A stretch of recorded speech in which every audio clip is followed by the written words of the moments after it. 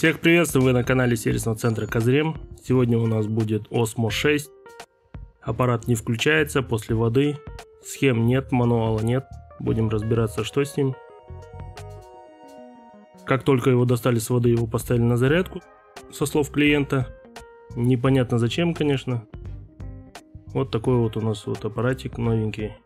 Даже пленочки еще не успели убрать. Будем вскрывать. Откручиваем ножку. Нам нужно будет раздвинуть телескопическую часть. Под ней будет 4 болта. Их мы раскручиваем.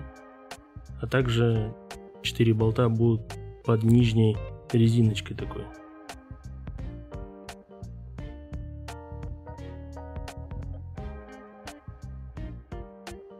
Специальной лопатки нету, у нас есть широкий канцелярский нож, он не оставляет зазубрин при вскрытии, не повреждая пластик. Отщелкиваем все защелки его.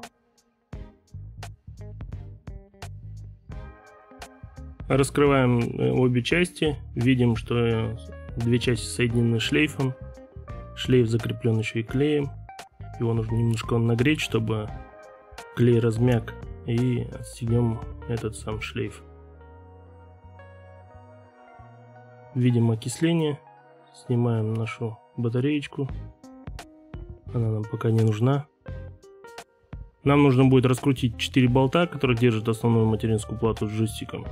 Но тут, конечно, я немножечко поторопился. Я не заметил на колесике зума стопорное кольцо. Пришлось плату выдирать так. Чуть-чуть так отстегнули верхнюю часть и вытягиваем ее полностью. Видим, материнская плата вся в окислении. Есть окисление, присутствует также на джойстике, на кнопке включения. Ну, кнопка включения очень сильно сгнила у нас.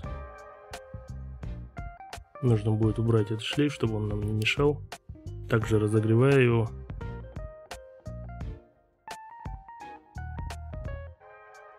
Очиститель мы используем такой вот дегризер. Очищает очень хорошо, отмывает все жировые и какие-то окисления, все застои. Щетка у нас справляется тоже очень хорошо. Сколько она отремонтировала уже электроники не считать. Снимаем вторую платку и будем смотреть, как там обстоят дела. Ну, дела у нас тут, конечно, такие же ключи все сгнили. Будем все сейчас это осматривать и приступать к работе.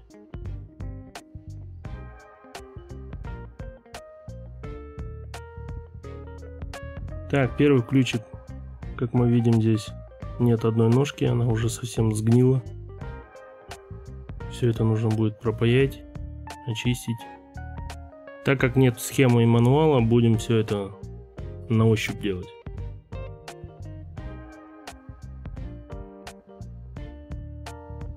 Что мы сейчас будем делать? Мы сейчас попробуем нарастить олово и прицепиться к оставшемуся корешку от ножки.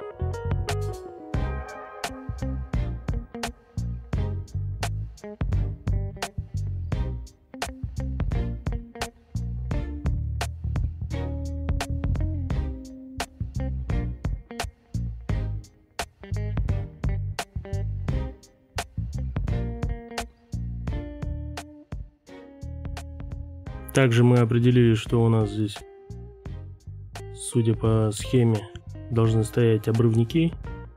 Обрывников нету, это все сгнило, уже улетело. Установим перемычки.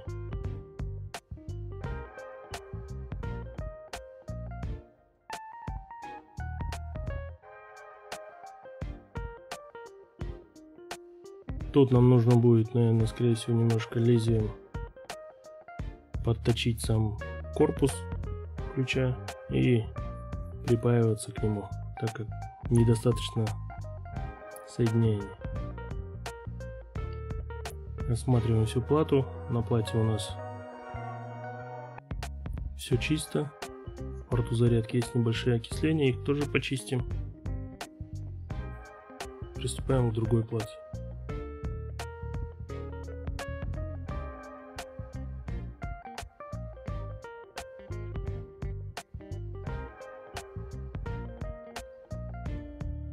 Тут небольшой резистор был подозрительный.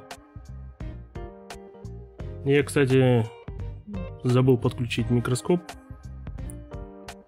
чтобы он записывал изображение. Пришлось с камеры, которая была направлена на монитор, оттуда показывать вам изображение. Тут также нам нужно будет очистить все контакты, залудить их и припаяться.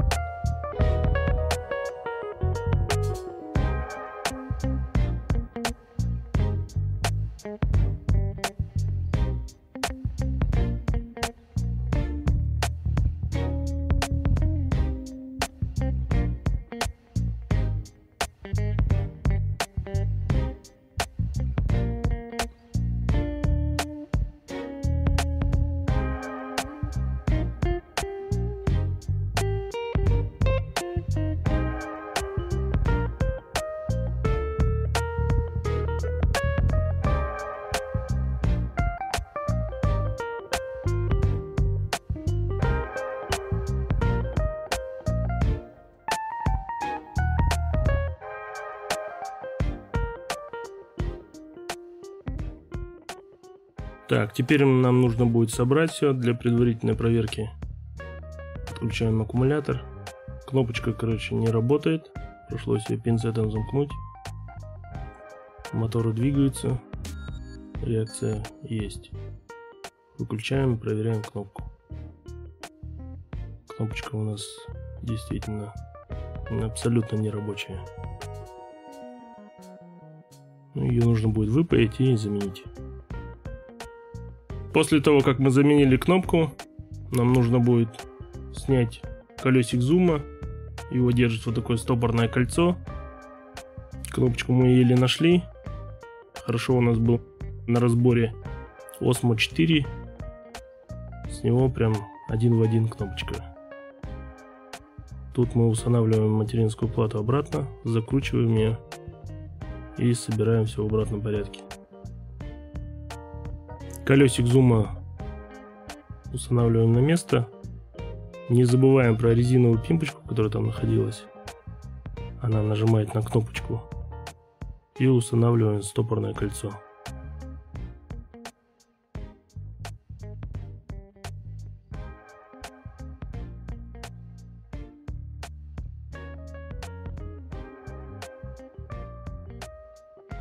Начинаем сборку в обратном порядке. Укладываем наш кабель. Все фиксаторы должны быть на месте. Предварительно проверили. Закручиваем материнскую плату, которая идет у нас маленькая. Все это закрываем, защелкиваем, закручиваем болты.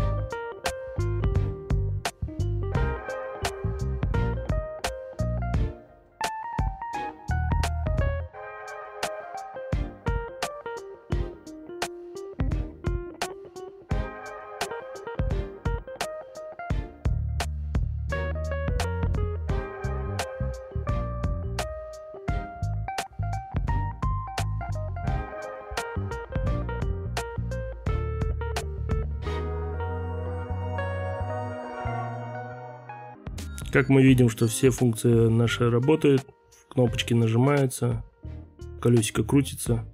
А вы подписывайтесь на наш канал, ставьте лайки, пишите свои комментарии. Скоро будет очень много видео.